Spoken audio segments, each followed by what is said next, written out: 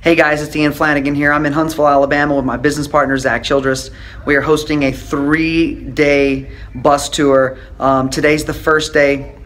We're doing it all day Friday. We're basically in a hotel room here. And uh, we're talking about breaking down markets, how to market for leads, how to identify markets, uh, what strategies to do in each one of those markets. So I'm going to take you inside the room real quick and give you a sneak peek. James. so serious. It's like Zach. Like And each, federal penitentiary. each state has their different. Siri, what's my name? You're Zach, but since we're friends, I get to call you Zach Attack. I love it, man.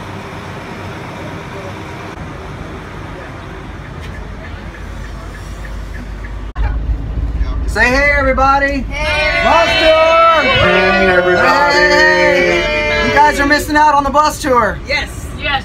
Absolutely. The builder is a cheap builder. He'll make it look like this, but he's cheap. All day on the bus tour, just checking it out. Here we go. Let's look at a house.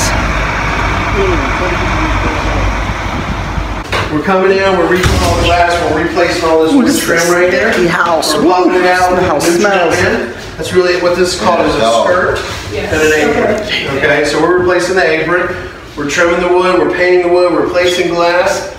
And all the doors, we're pulling the doors, we're resurfacing, we're, we're we're getting new cabinet doors, we're sanding and resurfacing all the sash and rails. Now, why are you getting the new doors? Just because we want to get a, a- a raised panel type door on here to bring it more modern, all this is coming down. For the family, yeah. Yes, all this coming down. The kitchen is getting a drop-in stove. This is turning into a full cabinet. Here we go. People come in and check out a flip that's on the market. Let's walk through here. This is one of my partner's properties. It is on the market as we speak. Nice kitchen.